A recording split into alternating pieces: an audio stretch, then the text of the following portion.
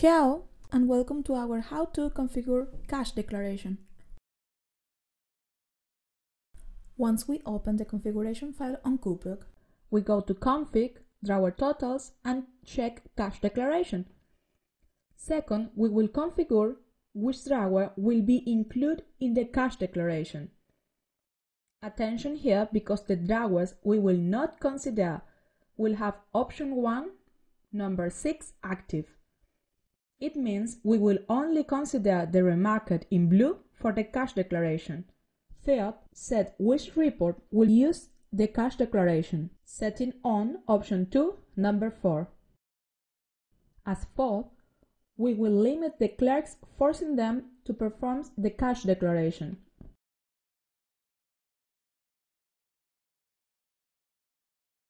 There are some texts which are possible to edit, one is the general message cash declaration.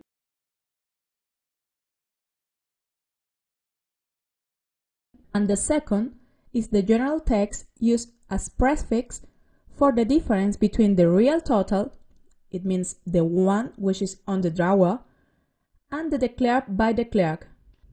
Those are all the required configuration. We install our program.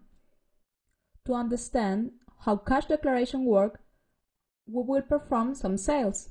For example, a first one paying in cash and a second one paying with MasterCard.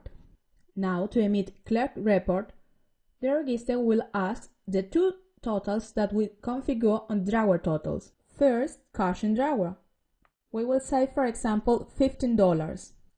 Confirm the amount with cash key.